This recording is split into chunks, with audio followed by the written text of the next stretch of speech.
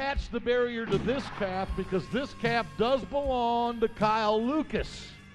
Now, if you don't know Kyle Lucas, you need to because his dad, Joe, one of the greatest Canadian ropers of all time, his sister Katie was a former Miss Rodeo Canada who now is a host on the Cowboy Channel. And Lucas was at the Calgary Stampede last week and did pretty doggone good. But he's got to let that calf trip that barrier, and he does. Rides up, spins him around to the calf in a hurry. Let's go, Kyle Lucas. Yes!